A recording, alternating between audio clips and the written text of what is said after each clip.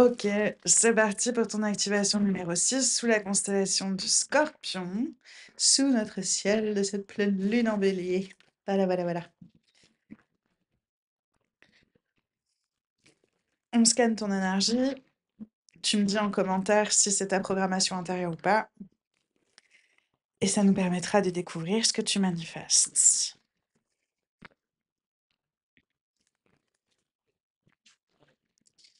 Tu, tu, tu, tu, tu. Il n'y aura pas d'extension, mes amours, tout simplement parce que vous m'avez demandé de réouvrir les lectures privées. Elles le sont. Vous pouvez vous commander une ou plusieurs lectures en fonction de situations que vous voulez clarifier ou des questions que vous vous posez et que vous, quoi, sur lesquelles vous voudriez que je me penche avec vous.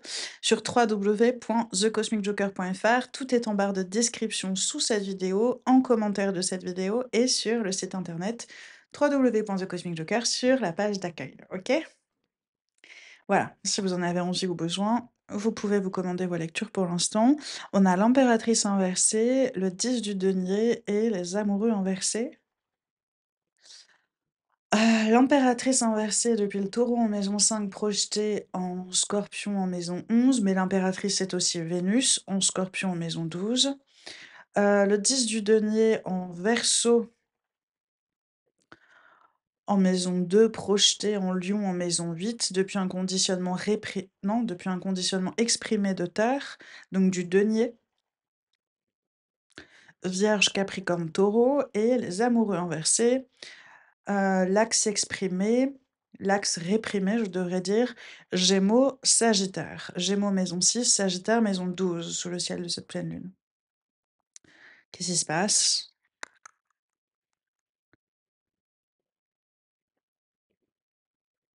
Tu mets un terme à des communications pour pouvoir qui ne te soutenaient pas, ou c'était toi le soutien, mais pas les autres, euh, pour pouvoir te concentrer et te montrer une forme de loyauté envers toi-même, euh, en te concentrant apparemment sur une expérience physique, relationnelle, matérielle et financière que tu dois pouvoir soutenir. En y dévouant, en y dédiant tes communications, ta liberté, ton autonomie, ton sens de l'inclusion, ta capacité d'attention, de concentration au quotidien de manière stable, afin de te proposer de concrétiser une voie d'expansion magistrale.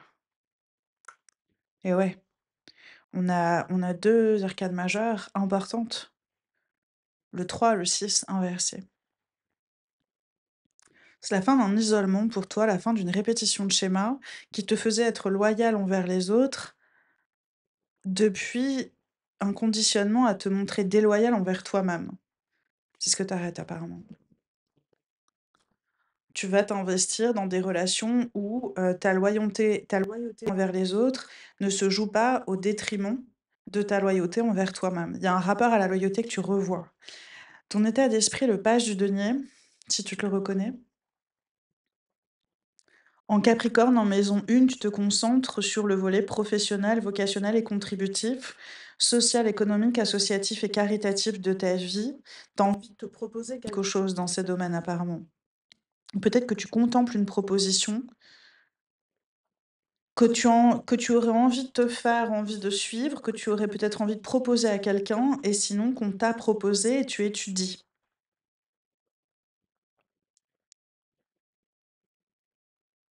Dans ton cœur, le chevalier d'épée, qu'est-ce que c'est que ça? Ton cœur me dit que tu connais la vérité sur une expérience familiale, conjugale, parentale ou une occupation d'un territoire, d'un lieu de vie, d'un foyer, de ton passé, que tu t'étais proposé de vivre un peu comme on se propose un nouveau départ, une nouvelle relation, un nouveau projet. Et où se sont joués euh, possiblement des comportements agressifs ou je sais pas trop quoi. Il y a quelqu'un qui, au cœur de son quotidien, n'a pas dit certaines choses qui se jouaient à distance de toi vis-à-vis d'une relation et d'un soutien. Qu'est-ce que c'est que ça?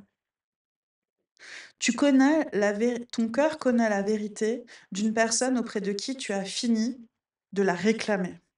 Et cette personne se trouve en Gémeaux en maison 6, à entretenir des aspirations au cœur d'un quotidien de vie, éloigné de toi, d'elle ou de lui, de vous deux, c'est très étrange. En se maintenant dans une relation professionnelle ou plus personnelle qui l'avantage sur le plan professionnel, vocationnel et contributif, social, économique, financier, caritatif ou associatif et de laquelle relation il ou elle reçoit le soutien dont cette personne a besoin sur le plan des ressources physiques, relationnelles, matérielles et financières. C'est ce que cette personne ne te dit pas et c'est pourtant ce que toi tu sais déjà. Bon. Ton comportement, le bas du bâton. Peut-être que tu es peut-être que tu es jaloux, jalouse d'une forme de compétition, de concurrence dans dans laquelle on a pu te plonger sans que toi tu aies eu ton mot à dire là-dedans. Heu, peut-être que tu vis un peu d'envie, un peu de quelque chose qui t'a qui est pas facile à à vivre quoi, parce que ça révèle des désirs véritables du cœur. La jalousie, l'envie, c'est pas censé être honteux, hein, de ressentir de la jalousie, c'est censé nous apporter l'information réprimée selon laquelle on désire quelque chose qu'on voit les autres manifester ou vivre de manière complètement décomplexée et assumée et qu'on ne s'était pas autorisé jusque-là à vivre soi-même ou à se proposer, d'accord? Il y a quelque chose un peu en lien à ça dans ton comportement, c'est que d'un côté tu veux quelque chose en lien à la famille, au couple, à la conjugalité, à la parentalité ou à une occupation du territoire, de ton lieu de vie, de ton foyer. Tu veux vivre une expérience émotionnellement riche, enrichissante sincère, tendre, honnête, amoureuse, heureuse, tout ça, tout ça. Et de l'autre côté, tu te maintiens dans une ou dans plusieurs relations, dans l'espoir que ces relations puissent d'une manière ou d'une autre venir t'apporter cette expérience que tu cherches véritablement à, à manifester, alors que il y a une ou plusieurs relations dans lesquelles tu te maintiens qui viennent complètement entraver ta manifestation parce qu'elles viennent lui faire concurrence.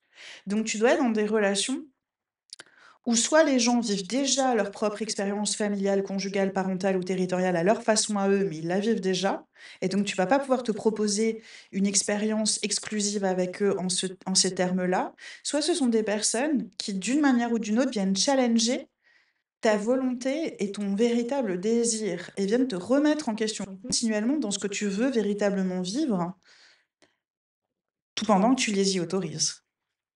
Tout pendant que tu favorises des relations depuis lesquelles tu entres en résonance à partir d'un nœud clanique surpuissant que tu continues de juger et donc auquel tu continues de rester attaché. On est sur une charge émotionnelle négative en lien à une expérience de la famille, du foyer, du couple, de la conjugalité, de ton passé, une ou plusieurs expériences.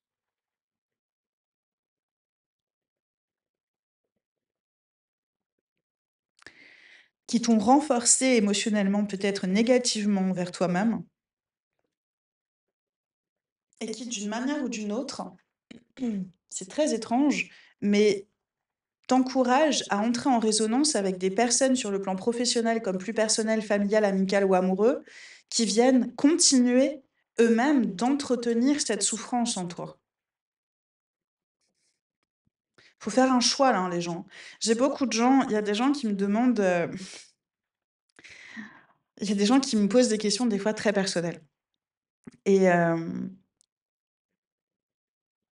Pour savoir, eux, comment se positionner par rapport à des membres de leur famille, heu, des amis, heu, un conjoint, une conjointe avec qui les choses ne vont pas bien du tout.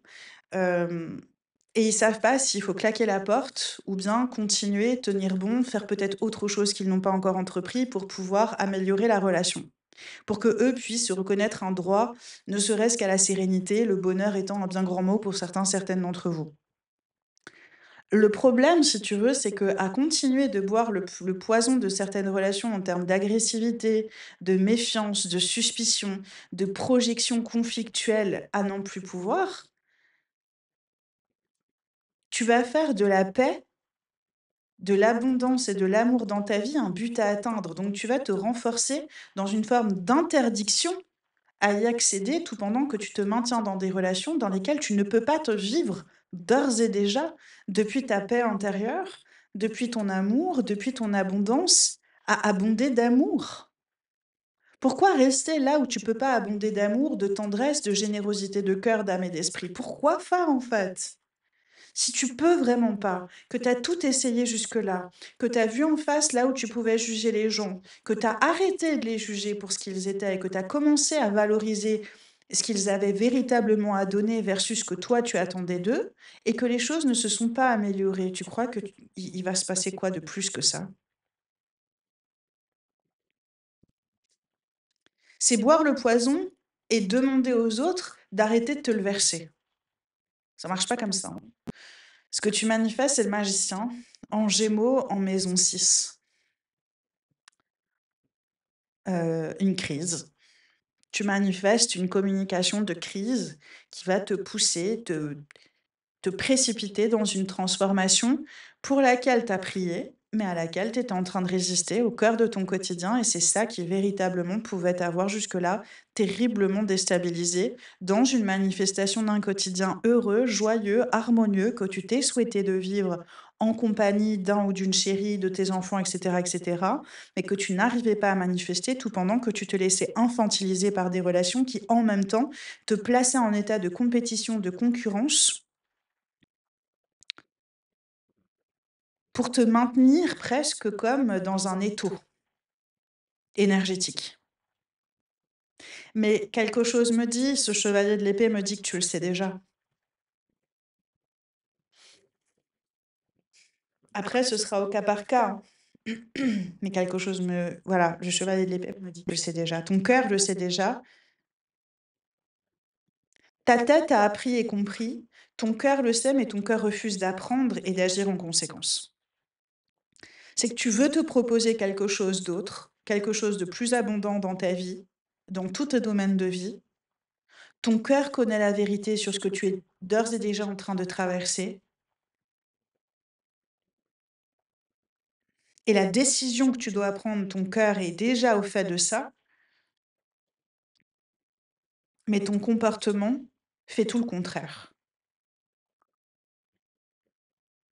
Ton comportement vient soutenir tout le contraire de ce que tu veux consciemment, qui vient faire concurrence à ce que, inconsciemment, tu tentes de continuer d'alimenter en espérant que quelque chose de nouveau puisse émerger de ça. Il y a des gens qui doivent prendre de de des décisions et s'y tenir. Et apparemment, tu manifestes le magicien, une nouvelle un nouveau départ, une nouvelle histoire que tu vas pouvoir te raconter parce que d'une certaine façon, il y a une communication qui vient te signifier une expérience de séparation, de deuil, de perte, de conflit, de confrontation, de disruption majeure te permettant de t'ouvrir à un nouvel équilibre pour lequel, encore une fois, tu as prié, mais que tu n'arrivais pas à complètement embrasser en lâchant tout ce à quoi tu t'étais attaché jusque-là, de peur de perdre quoi que ce soit. De ce qui te maltraitait, hein. Donc, heu, à qui tu as affaire au 6 du denier inversé, à quelqu'un qui décide de se désinvestir de votre relation. Depuis le bélier en maison 5, projeté en balance en maison 11, c'est quelqu'un qui décide de ne plus s'investir.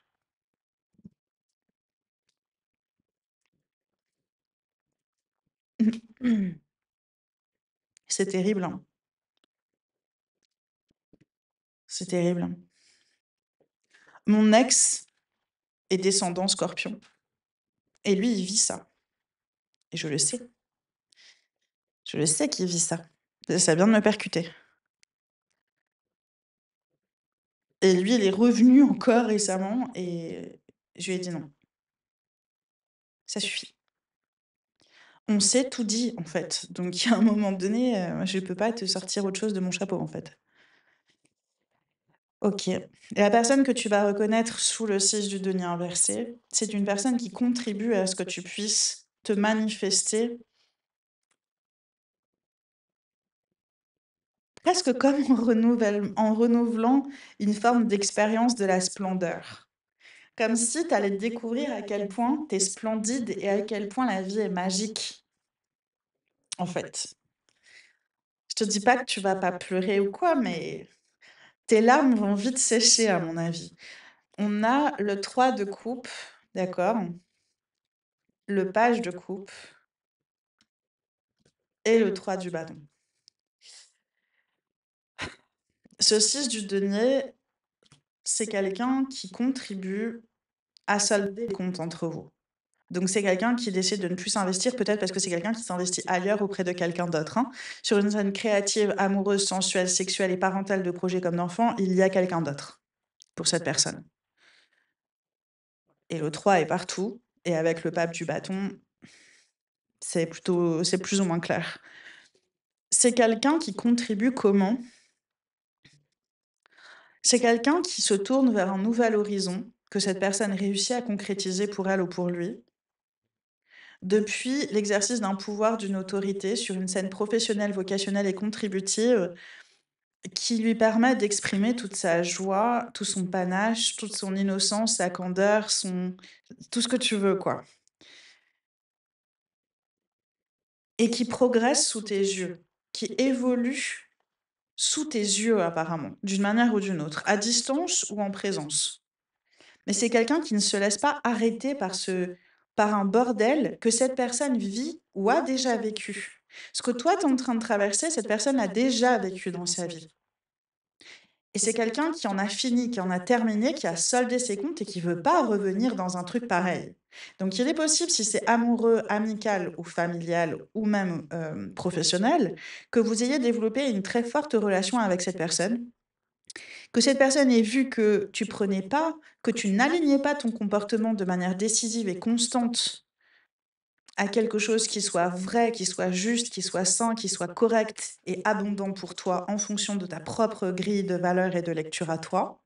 Et que cette personne ait eu peur de se faire aspirer par une histoire répétitive de son propre passé que cette personne a déjà réglée. Donc c'est quelqu'un qui s'en va, qui va te donner l'impression de te tourner le dos pour se concentrer sur un quotidien heureux, joyeux, abondant, que cette personne va chercher et va réussir à faire progresser dans sa propre vie, d'accord? Mais cette personne en vrai, elle contribue à ce que tu acceptes le magicien, cette transition, ce nouvel équilibre, cette disruption qui va donner naissance à une nouvelle vie pour toi. Parce qu'elle te montre, cette personne un autre champ des possibles que celui que tu avais restreint, dans lequel tu t'étais toi-même contraint, contrainte ou restreint, restreinte. De part notamment des oiseaux de mauvais augure autour de toi, tu t'entoures mal en gros. Le 6 du denier pourrait me dire ça. Ce Cosmic Joker dit au Scorpion qu'il ou elle s'entoure très mal. Voilà. Donc, si c'est ton cas, tu saurais que c'est ton manifeste et du coup, tu pourras travailler le fait, heu, de reprendre le droit à t'entourer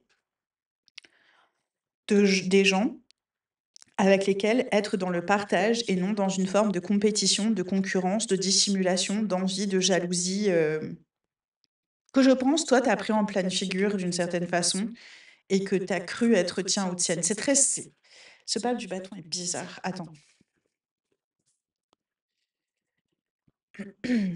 Je connais mes amours de Scorpion, ça te ressemble pas cette, heu non, ça te ressemble pas, c'est normal. On te l'a fait ça. On te l'a fait ça. Avant que toi-même tu ne mettes quelqu'un en concurrence avec d'autres gens ou je sais pas trop quoi, ou en compétition ou que je sais pas trop quoi, ou avant que tu ne pètes un plomb pour essayer de te libérer de quelque chose qui n'a rien à voir avec le 6 du denier, mais qui a tout à voir avec des personnes de ton passé en lien à une vie familiale, conjugale, parentale ou territoriale de ton passé, envers lesquelles tu ne veux pas entamer la relation. Il y a une ou plusieurs personnes avec qui tu veux pas tu veux pas couper les ponts et ça te regarde. Tu vois ce que je veux te dire? Si tu arrives à vivre quelque chose qui soit sain et correct pour toi en en te maintenant dans des relations conflictuelles, s'il te plaît, écris-moi en commentaire comment est-ce que tu fais en vrai. Parce que je vais te dire quelque chose, c'est pas possible. C'est pas possible. Parfois, il faut interrompre des relations, quitte à les reprendre plus tard quand chacun a fait son travail sur lui-même et a repris ses propres projections. Mais parfois, il faut interrompre des relations. Parfois, il faut savoir dire à quelqu'un: «Non, tu me traites plus comme ça, tu parles pas de moi à ma place et tu parles pas tu parles pas de moi aux autres». Pape du bâton. Tu te maintiens dans des relations où on t'infantilise ou alors où on s'infantilise pour pouvoir te dominer par un processus de soumission. On va on va te montrer qu'on se soumet à toi, mais pour mieux te dominer. Et dans tous les cas, tu perds, 10 de l'épée. Et la question du 6 du denier, c'est pourquoi est-ce que tu restes dans des relations où tu perds? Où il y a des gens qui pensent pouvoir gagner quelque chose à te voir perdre.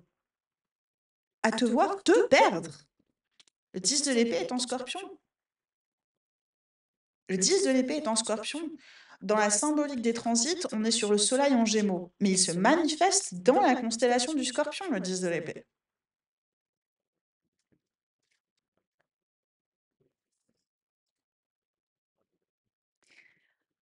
Tu as voulu aider beaucoup de gens, tu as voulu en sauver d'autres, de ta famille, de tes amis, de tes conjoints, de tes conjointes, heu, des gens de ton entourage immédiat, de tes amis, de je sais pas trop quoi.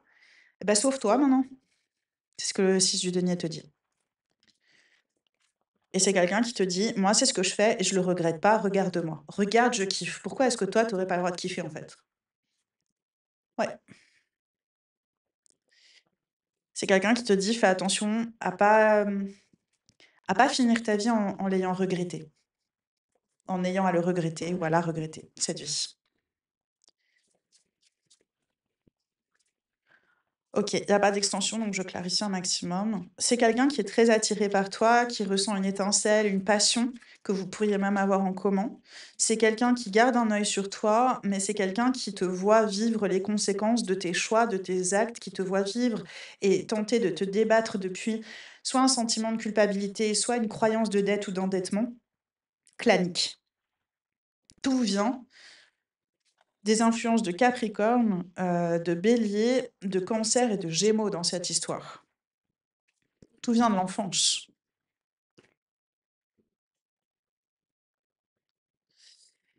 Le jour où on devient adulte, moi j'ai tendance à penser que en tant qu'enfant nos parents deviennent de grands amis, de grands ennemis ou alors de parfaits inconnus. Mais il y a un moment donné, quand on devient adulte, heu, soit qu'on met au monde une société ou plusieurs, soit qu'on mette au monde nos propres enfants on n'a plus besoin de se faire infantiliser à tout va. Et je vois encore des gens, d'une manière ou d'une autre, rester en contact avec leurs parents, mais sur un mode parent-enfant, alors qu'ils ont des fois 40 ans, 50 ans, 60 ans. Je dis pas quand il y a une quand il y a une une, tuile qui nous tombe sur la figure et qu'on est émotionnellement fragilisé, on peut retourner, heu, voir maman, voir papa, ne serait-ce que pour, heu, être pris dans nos bras, ça nous arrive à tous, tout va bien, faut se détendre. Mais on ne vit pas tous, en tant qu'adultes, depuis l'équation papa, maman plus enfant égale famille, quand on devient nous-mêmes adultes et qu'on construit notre propre famille. Il y a quelque chose comme ça ici qui n'est pas clair. De qui crois-tu que tu es encore l'enfant? Parce qu'il y a une parentalité intérieure qu'il va falloir que tu fasses naître avec peut-être plus de vigueur et plus de constance, apparemment. Pour pouvoir te sortir d'une forme de nébulosité qui est en train de te causer, de te rendre la vie bien plus difficile, heu, qu'elle n'a à l'être pour toi. Là, j'ai quelqu'un qui est brillant, qui a de très belles ressources, matérielles comme immatérielles, à mettre au profit d'une nouvelle vie. Mais ce comportement t'entrave et te raconte que les autres pourraient t'entraver à ta propre place. Or, c'est ton comportement qui est une entrave. C'est pas le comportement des autres auprès desquels tu te maintiens depuis un comportement clivant. Arrête la guerre. C'est ce qu'on te dit ici. Bon, pour ceux qui avaient besoin d'une lecture privée ou de plusieurs, vous avez le site internet, ça se passe sur www.thecosmicjoker.fr. Moi, je m'arrête là pour ce manifeste. Je t'embrasse très fort. Je te dis à plus tard pour d'autres manifestes si tu t'arrêtes ici. Pense à me faire un petit bisou si tu as écouté jusqu'au bout. N'hésite pas à m'expliquer c'est quoi cette situation parce que sincèrement, ça me dépasse, d'accord? Il y a quelqu'un qui est sur toi à distance, t'en fais pas. Mais il y a quelqu'un surtout qui te voit sortir d'une croyance de dette, d'endettement, mais au forceps, quoi. Et qui prie pour toi.